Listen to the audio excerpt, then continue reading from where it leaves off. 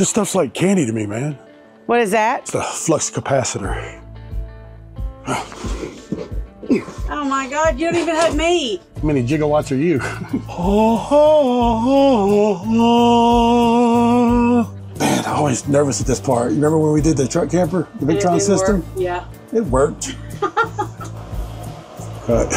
All right, we're gonna try out a heat gun on it. Cut. I gotta figure out what I did here. Now you get to learn from my mistakes. Is it a little excessive? Yeah. But that's what I do is excessive. Hey everybody, welcome back to the channel. I'm Mike.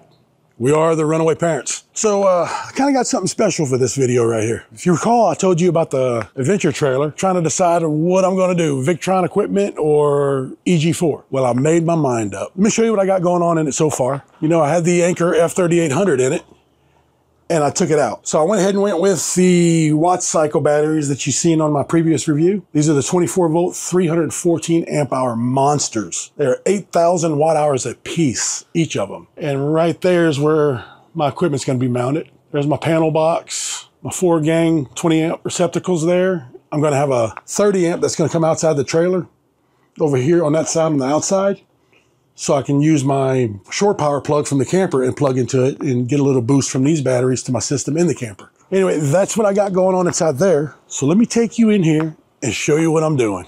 So excuse the mess. There she is. I'm going with the EG4 6000 XP. I am so excited about this because you know I got the 12,000 XP on the eco-worthy batteries running my shop. Y'all, this trailer is gonna be absolutely sick. It's gonna be awesome.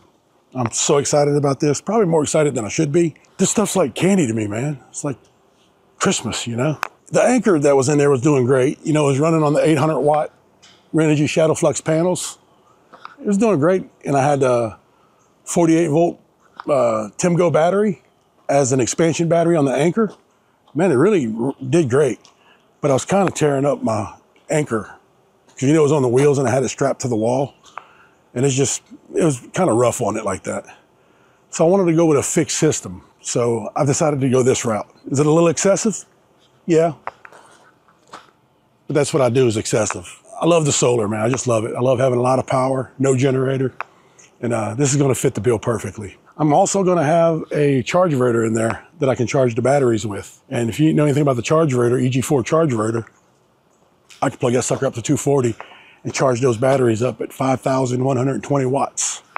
I can put that in there or change the cord out on it and plug it into a generator and put 2,000 watts in it. Like I said, it'll have the Renogy solar panels. These 800 watts will feed into one side of the EG4 6000 XP, which is not much. That open circuit voltage will kick it off. I've already checked it. I'm gonna have a ground deploy plug that's gonna come out of the side of the trailer and I've got like a thousand watts of ground deploy panels I can put out when we're camping somewhere. I can get about 1500 watts probably all together in good sun going into those batteries. And it's going to come in real handy at this uh, meetup that we got coming up because a lot of the campers out there don't have solar and they're not going to be running air conditioner. So, yeah, people can plug into my trailer and I can run everybody. I could probably run two or three campers off of my little trailer here. And uh, Larry will be there with his. He can run a couple. But uh, I think we're going to have all the power we need. So come on, let's get started installing this. It's going to be a great time. Let's get this plastic off of it. Already unboxed it, as you can see. I am just 100% impressed with the EG4 product line. I absolutely love it. You know, I have the EG4 server rack batteries in my camper, the 12,000 XP here, and now we got the 6,000 XP. It's a little heavy. I think it weighs like 50 something pounds, which is, you know, not, not horrible. If you do purchase 6000 XP, you're gonna get, the, in the box, you're gonna get your owner's manual, your Wi-Fi dongle, communication uh, cable, and a parallel cable where you can parallel multiple 6000 XPs together, which is pretty cool. And you gotta have a template in it. So that'll help you practice fit up on a wall wherever you're gonna install it at. Man, one of the key things I love about it, absolutely love, it's, it's all in one, guys. Completely all in one. You're gonna have your PV shut off right here. You got a breaker here for load, grid, your generator, on off switch for your battery, your breakers are in there, everything all in one. MPPT controllers inside it. It's basically your whole Victron system all in one box right here. And it is 48 volt. For those, those of you that don't know, it is 48 volt. All right, so let's take the template inside there and get it fit up, see how we're going to put it, where we're going to put it. We'll go from there. All right, so this is kind of what I'm thinking here. I think that looks pretty good right there. Little pilot holes here. Now we gotta go get the inverter, bring it in here. I've got somebody for y'all, man. I, I need help. I, I just need help. My beautiful special assistant right here. Hi, y'all are? She's gonna help me with this. So this should be interesting. No, she's a big help, not gonna lie. So let's get that inverter and get it in there. What is that? It's a uh, Canuter valve. Canuter? Sounds like a dirty word.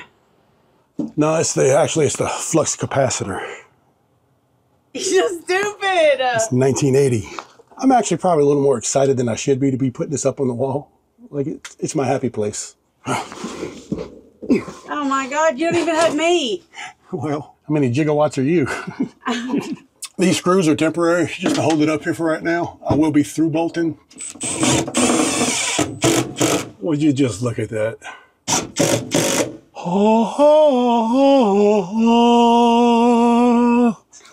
Hallelujah. What? Whoa, would you look at that? That is not what you expect when you open this little trailer door. You silly. Now we need to take the cover off of it and we'll start wiring it up to the breaker box and wire our battery in. We'll get this thing going.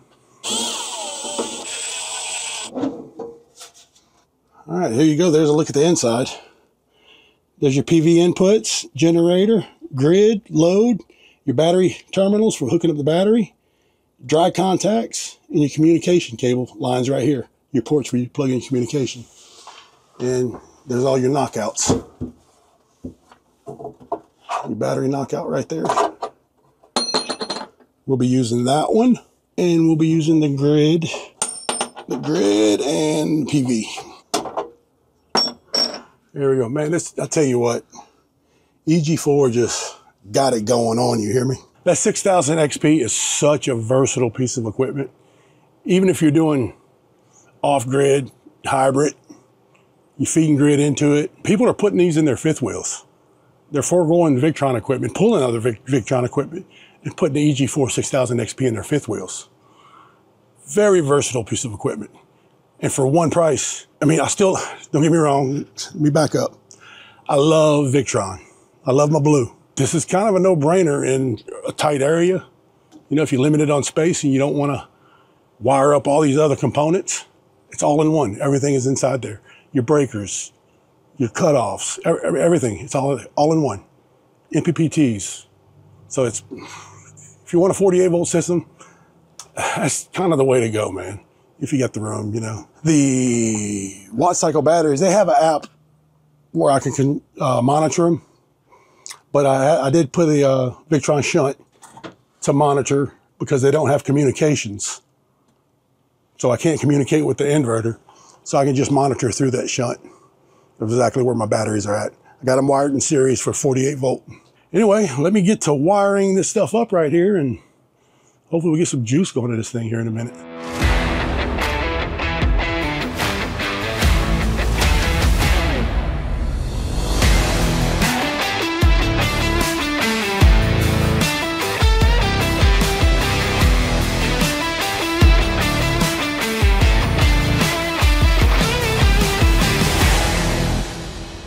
Bring you in here for a little look. Now, guys, this is super easy to wire it up. Do a little research. I mean, this is so incredibly DIY. After you do it a few times, you make yourself sick that you're even ever scared to do it. But absolutely be careful. What you do, you are, at the end of the day, messing with electricity. So do your research, learn. I'm not going to tell you what, what to do. I'm going to tell you what I did. This ain't a how to video. This is just how I did it. Look in here, you're going to get 8 gauge copper wire.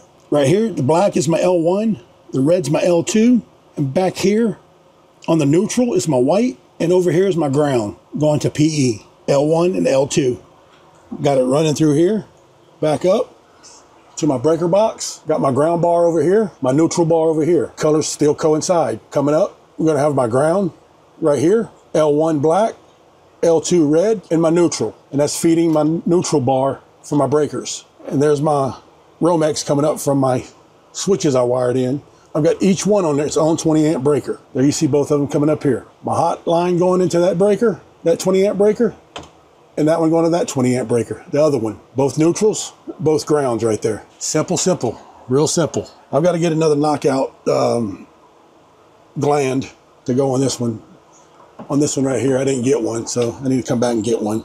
I'll just have to unwire this and put it in there and fix that. But for now, to get me going, this is going to work. Now we're going to get the battery wired up. I've got the um, two aught cables right here from bought these at Signature Solar while, while I was there. So I'm going to have to cut my negative one to make up for the distance in my shunt. But uh, won't be long now. We'll be putting power to this sucker. Alrighty, she is wired up, fellas. So let's, uh, let me go to my Victron app. Let's double check the voltage coming out of our battery. 100% voltage is 56.1. All right, let's check the voltage at the lugs right here. 56.17 on the meter and 56.18 on the Victron app. So that tells you how accurate that Victron app is. I mean, we're within a millivolt. What's a millivolt? Don't you worry about it. Daddy I'll tell you later. Man, I'm always nervous at this part. You remember when we did the truck camper, the Victron system? work? Yeah. It worked. it's just nervousness when you first flip the switch. All right, so we're gonna put juice to it through the batteries. Cut. Now we wait. Uh, let me see what, I, what we got here. Womp, womp, womp. Okay, not really sure what happened there. Everything seems to be working now. For some reason, these two batteries in series, I was when I flipped the battery switch on, it was giving me an overload, not an overload, but a uh, hardware warning on the BMSs on the WattCycle app. After going through, checking everything, double checking, triple checking, all my connections was right, so I tried it again and it did it again. I turned everything off, reset the, um, the app, and flipped it again, and now I'm getting voltage 56.16. I've got the breaker on, nothing's tripped. So we're going to try this again. At first, it didn't like being in series, but uh, I don't know, it seems to be working now. So we're going to uh, see if we can power everything up. All right, our inverter's on. Inverter is on, so let's put our load on. And let's flip these breakers on. Now let's hope I got everything right. We'll plug something into it, see if we got power. All right, we're gonna try out a heat gun on it.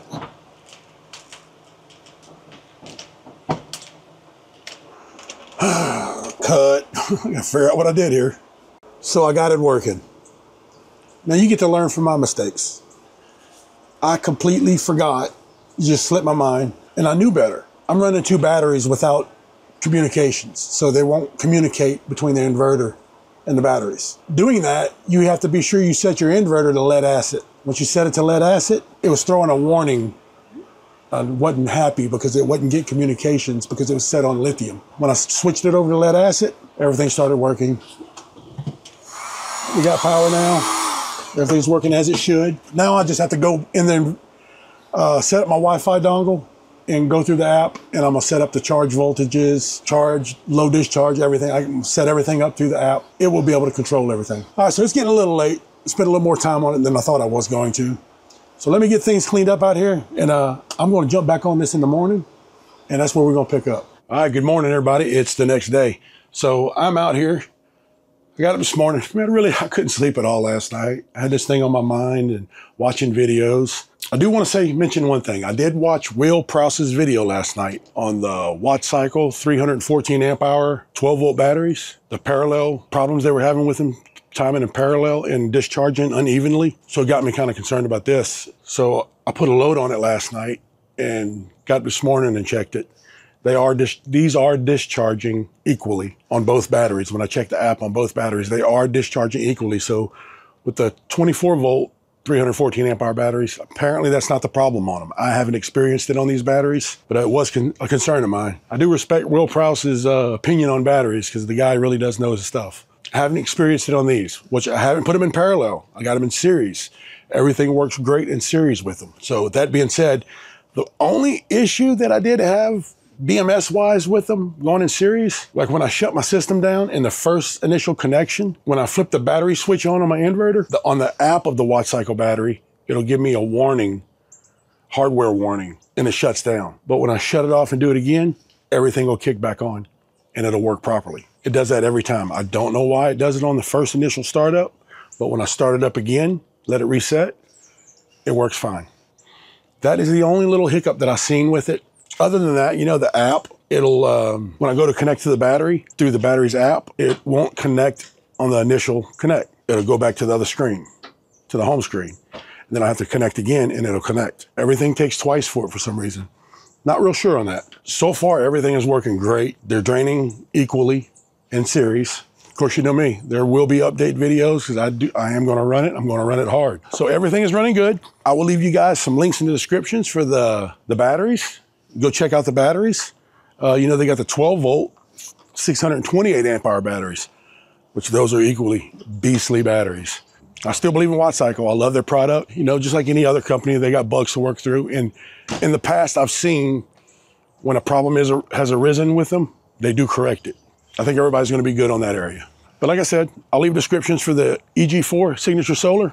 Man, go check them out. Anything you need for solar, Signature Solar is your place, man. I'll leave a discount code in the description, help you save a little bit of money, and a discount code for WattCycle. So that being said, what we gonna do, baby?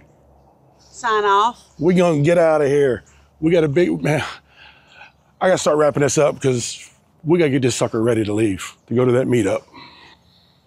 She's on my butt, y'all. She's on my butt. Thank you guys for uh, watching this, man. I appreciate it. We'll see y'all on the next one, man. Bye.